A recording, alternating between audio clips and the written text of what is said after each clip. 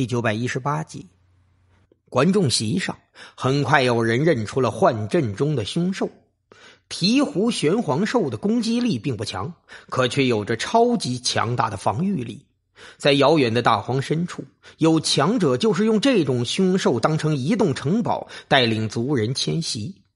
这东西的防御比普通界王强好几倍，甚至达到了较弱的大界界王水平。神文城拍卖会居然用此等凶兽测试邪神符，自然也意味着他们对邪神符的威力有十足的信心呢。难不成这个邪神符可以伤到大界界王？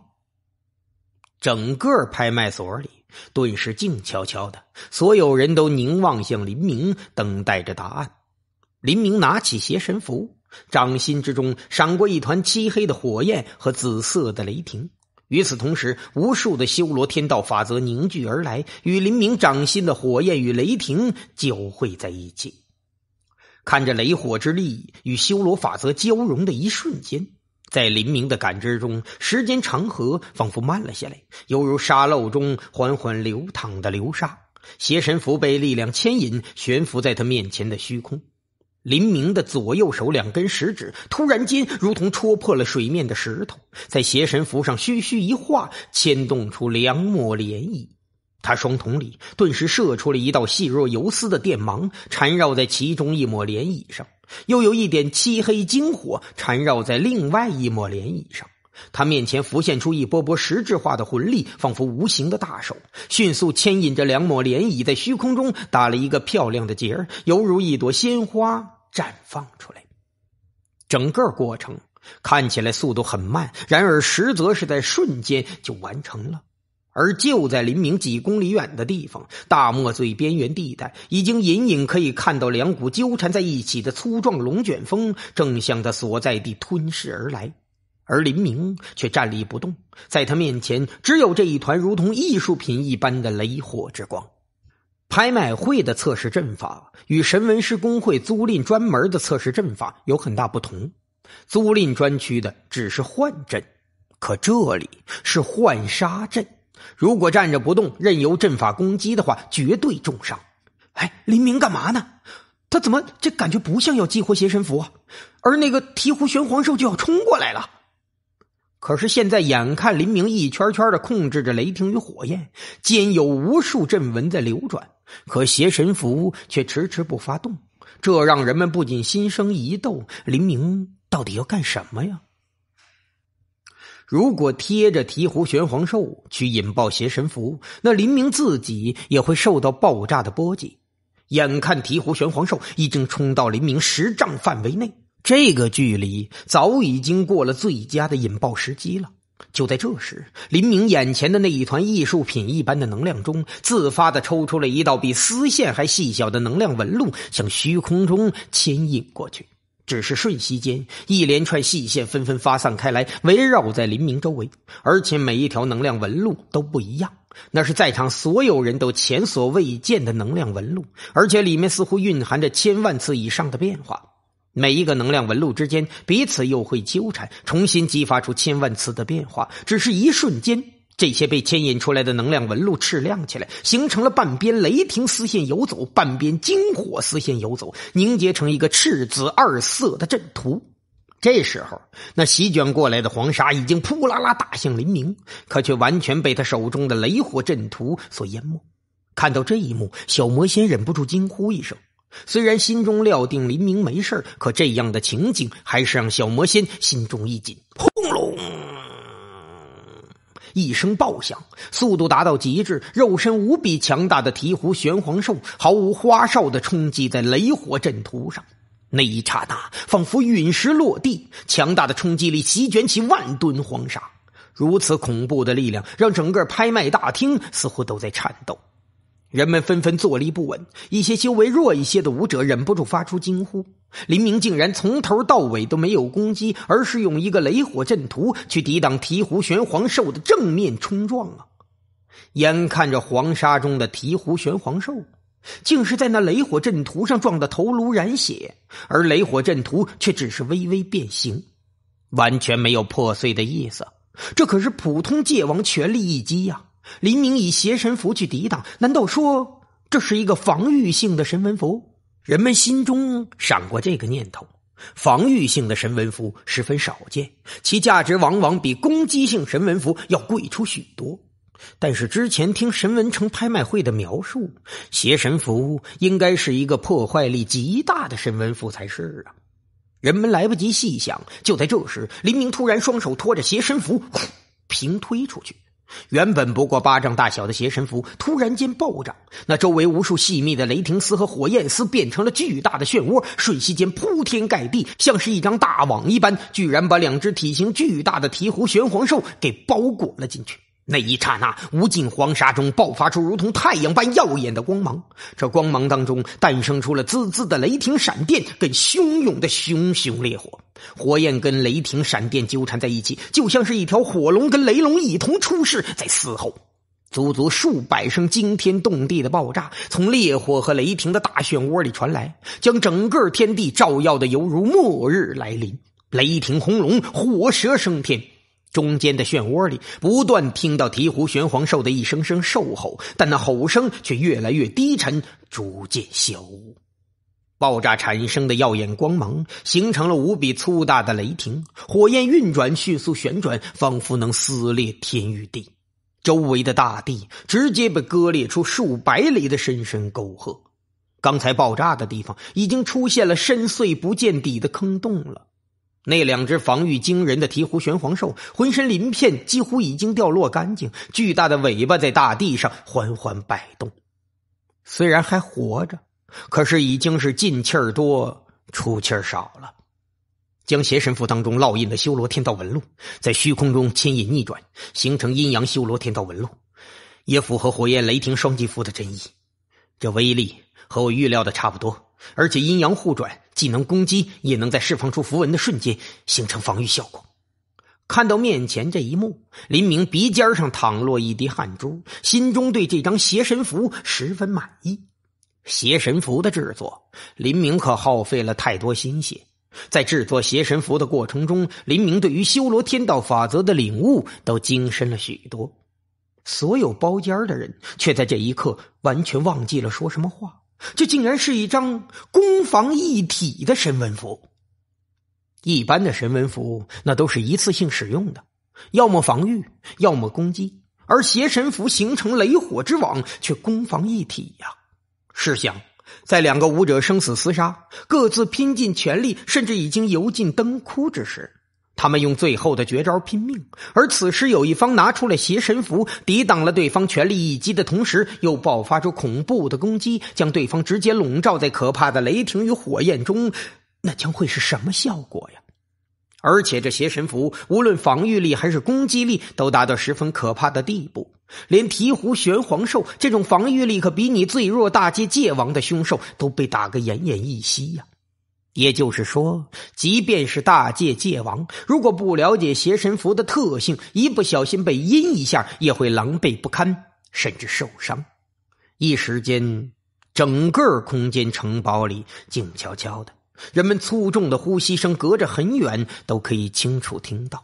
而就在这时，在高空中那一团暴躁不堪的雷火之力，竟重新凝聚起来。条条修罗天道的纹路也与此同时一同汇聚，犹如无尽的星光挥洒。这些雷火之力和修罗天道被一股巨大的漩涡倒逆着卷到一起，最终重新形成一张完好无损的神文符，落在林明手上。邪神符重生了。看到这一幕场景，人们虽然早有预料，但还是嘴巴微张，震撼的说不出话呀。能重复使用，这是临字符的标志。但是，就像最开始的涅槃天火符，原本威力就比原版的没强多少。重复使用，这还不算什么。接下来就是天火符，威力强大的离谱，而且还能重复使用，这就让人惊叹了。于是，天火符拍出了三十六亿的天价。可现在，这个邪神符攻防一体。而且在攻击过程中有种种奇妙的变化，似乎有很多的奥秘，林明还没来得及展现。这样一张能够起死回生、伤到大界界王的变态神文符，竟然也能重复使用，这这这简直就是个破坏规矩的东西呀！如果能有好几张邪神符在手，普通界王都能跟较弱的大界界王叫板了。而用在战争中，那更不用说了。不同于涅槃天火符啊，邪神符可用于宗门高层力量之间的战斗。如果使用邪神符能让一个原本要战死的界王反败为胜的话，这一里一外可不知意味着多少财富啊！要知道，每一个界王那都是无数资源堆积出来的。想到这儿，贵宾席中几个天尊都为之动容了。林小兄弟的测试已经完成了，薛长老，还请您评定一下这神文符的级别。宋文轻吸一口气，神情激动，他有预感今天的拍卖会将再创造一次新高。薛长老愣了一下，目光依依不舍的从幻阵里挪移开来。这个。薛长老沉吟了几息的时间，开口说道：“呃，林明小友，这邪神符能用几次啊？”薛长老目光和蔼，看向林明：“嗯，三到四次吧。”林明稍微想了一下，开口说道：“如果他来用，能够用到五次以上。不过别人就没这本事了，因为是攻防兼备，能量流过大，对神文符本身的细小符文的负载更大一些。”所以只能用这么多次。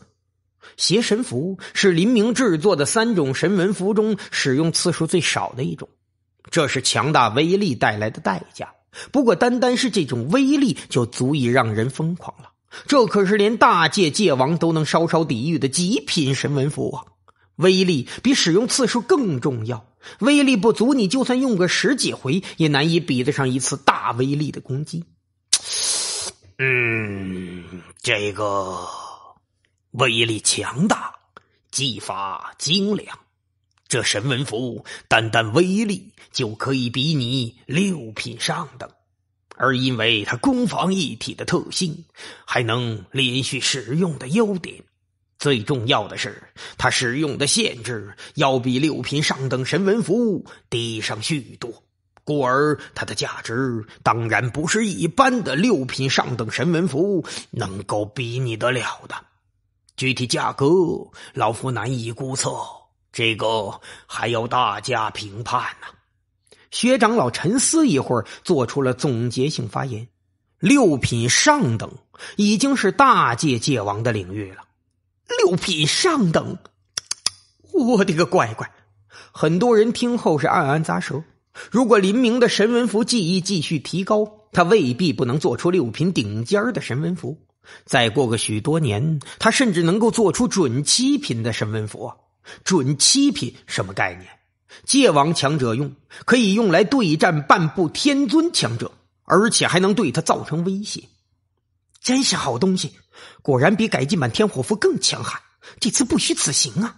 嗯，虽然说邪神符蓄势时间稍长，可蓄势时间内似乎也可以防守啊。这个林明的实力也远超同级武者，他看起来只是神君境，可使用这张神文符，恐怕是圣主巅峰的实力呀。以神君境的人来弄，魂力早就干枯了。不知道谁说了一句。这时候，人们才清醒过来。似乎因为林明接二连三创造奇迹，人们都几乎忘了他原本是个神君境武者的事实啊！既然如此，在座的诸位，拍卖现在开始，依旧是五百张神文符欠条，底价为零，每次加价不得少于五千万积分。宋文声音激昂，而就在竞拍者们摩拳擦掌，准备疯狂竞价的时候，一道淡淡的声音传来。五百张欠条什么时候兑现呢？这个声音传自贵宾席，带着一股难以形容的沧桑之感，仿佛这句话中蕴含了岁月的意境。人们心中一惊，纷纷向那贵宾席望去，顿时心中凛然。问话的人是天商神国国主徐无子。徐无子修为早在数千万年前突破天尊，而且他在炼丹术和神文术上都有些涉猎。可是天尊境界的神文师一样购买林明的神文符啊！不管邪神符、天火符，他们有个最大的特性，就是能让相对低阶的武者使用。天尊级神文师也没这本事。徐无子一眼就看出来邪神符的复杂之处。他有些难以想象，这竟然只是一张五品神文符。而相对的，越是复杂的神文符，它制作的难度就越大，制作周期就越长，也越容易失败。五百张邪神符欠条说起来轻松，但其实要兑现它可并不容易，尤其它的制作者本身修为不高。徐武子的目光穿过贵宾间的阵法，投在林明身上。宋文还有诸多竞拍者也看向林明。林明微微沉吟说道：“嗯，大概三年。林明制作邪神符的成功率到现在也不过六七成。他可以当众演示天火符，可却不能演示邪神符。哪怕他不计精神消耗去投入邪神符的绘制中，一样有不小的可能会失败。”而且制作一张邪神符也要消耗大量的灵魂力，一天最多做一张。在考虑这期间，林明还要制作天火符，故而他说下了三年时间，这也算是林明能够承受的时间段。这期间，林明的灵魂力自然还会再度增长，对修罗天道法则的理解也会日益精深，故而实际上也许用不了这么久。哦，徐无子心中微微一惊。其他人不理解三年时间意味着什么，可徐武子作为神文师，当然知道林明在三年内完成五百张天火符和五百张邪神符意味着什么。就拿这邪神符来说，一个六品神文师画出一张来，差不多都要灵魂力耗尽了。好，本尊拍卖会买欠条倒没什么，但是我需要一个交货期限。如果我拍下你的邪神符，我希望每三个月时间，神文石工会都能派人将制作好的神文符送到天商国。如果三年内不能交上整整五百张神文符的话，哼哼，我要讨回所有的积分。徐武子这一番话说出来，在场竞拍者都是心中一凛，这条件够狠的。如果林明无法在规定时间内完成任务，积分一分捞不着，还要赔上材料钱和大量的精力心血，等于三年白干呢。很多神文士暗暗咂舌。不过话说回来，既然是买欠条，当然该有个界定的期限。只是这样的条件，没十足勇气的人根本不敢答应。尤其这邪神符的难度，简直让人害怕。徐武子的话倒赢得了不少真正大买家的一致赞同。这些内修罗路的顶级人物，基本是天尊以上的修为。他们虽然看中了邪神符，但也不会因为一时冲动就为了一张白纸而疯狂竞价。他们在竞价前便开出了一个如此具有压迫力的条件来。所有人的目光一时间都集中在林明身上。这样的场合，这样的压迫感，确实不是一般人能承受的。林明表情平静，他微微沉吟了一下，说道：“可以。”简简单单的两个字，却铿锵有力，让人听了都是心中微微震撼。林明还真的就这么答应了，这份自信实在惊人。如此看来，他真能在三年内完成神文符的绘制。不过，我也希望提一个条件。林明话锋一转，徐五子眉梢微挑，淡淡说道：“说吧，没什么特别的，只是要求你们在出价的时候，其中一半的积分以珍稀材料支付。”林明感觉自己的积分现在已经够用了，他更需要的是材料，特别是珍稀材料，根本是有价无市。好，我是没问题。徐五子一口答应，其他天尊也默认了。